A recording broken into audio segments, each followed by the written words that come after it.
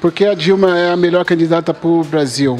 Além das questões gerais que a Dilma tem tratado, tem avançado o Brasil, tem desenvolvido o Brasil, tem sido uma ótima presidenta para os trabalhadores, é, para o povo como um todo. Nós do Movimento Negro temos é, bastante motivo de votar em Dilma. Dilma avançou em questões extremamente importantes para a luta contra o racismo e para a promoção social da população negra.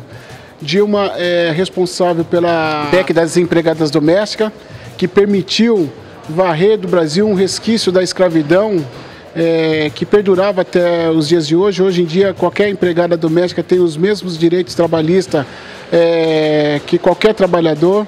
Isso parece pouco, mas para quem é empregada doméstica é muito, e são muitas empregadas domésticas e negras. Então ela limpa esse resquício da escravidão.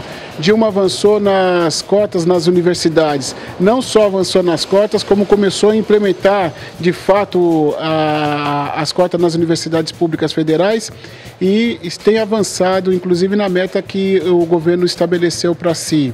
Está bastante positivo.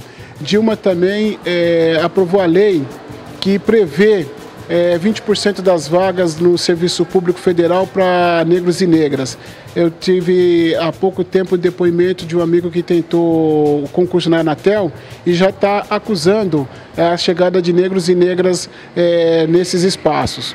Então, Dilma tem profunda convicção da importância das políticas de ação afirmativa. E nós, do Movimento Negro, acreditamos que, além das políticas universais, que são fundamental para a melhoria da qualidade de vida do povo brasileiro, para que a gente diminua as, as, desigualdades em grupos específicos, como na questão da população negra, é fundamental as ações afirmativas. Dilma Presidenta.